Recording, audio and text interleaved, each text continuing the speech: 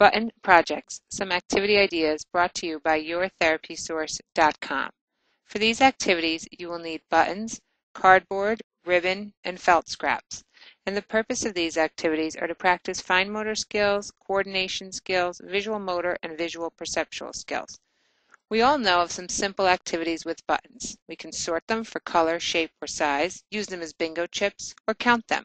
Here's some new ideas. Why not glue some to some cardboard to make a button board? Then the child can use a shoelace and trace patterns or shapes along each of the buttons. Or how about a stringing button? Sew a button to one end of some ribbon and the child can lace felt scraps on them to make a pretty necklace or just a simple decoration. Or try sewing on four buttons on the ribbon or hot glue them on.